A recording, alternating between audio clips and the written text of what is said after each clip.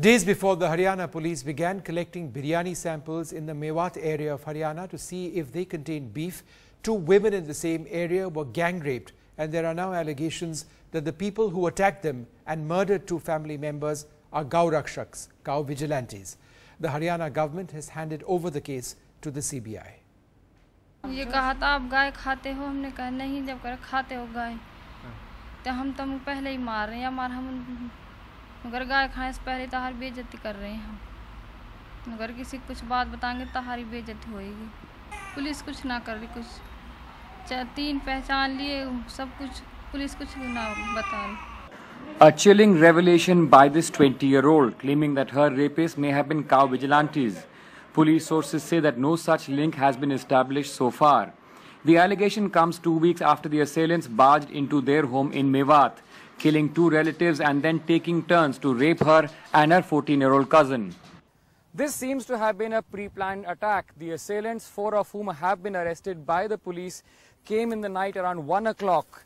They came to the victim's house, and most of them were out sleeping in the fields. In fact, on these cots, they tied several of these relatives to their cots, beating two of them who finally succumbed from the injuries, and then took turns to rape two cousins one by one.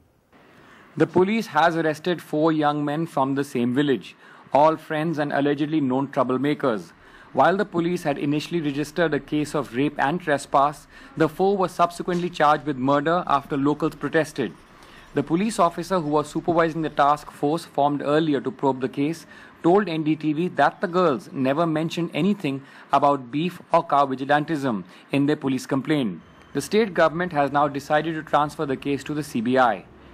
देखो main मकसद जो हम माप रहे हैं, वो यही लगता है कि वो बच्चियों के लिए ही उनका जो सोच थी, उसी के लिए वो लोग आए थे, दरिंदगी के लिए। उस दिन सुबह भी उन लोगों को देखा गया है चार लोग बैठ करके वहाँ दारू पी रहे थे। पहली मर्तबा ऐसा हो रहा, हुआ कि इतनी बड़ी जघन्य अपराध हुआ और उसके बाद सोशल फैब्रिक को बिगाड़ने के लिए अब जो बिरयानी में बीफ ढूंढ रहे हैं, उससे लगता है कि सरकार की नीयत सही नहीं है, कहीं ना कहीं कोई साजिश है हमारे भाईचारे को बिगाड़ने की। Allegations of cow vigilantism only add to the growing sense of fear and mistrust in Mewat that has hit the headlines of late for biryani policing.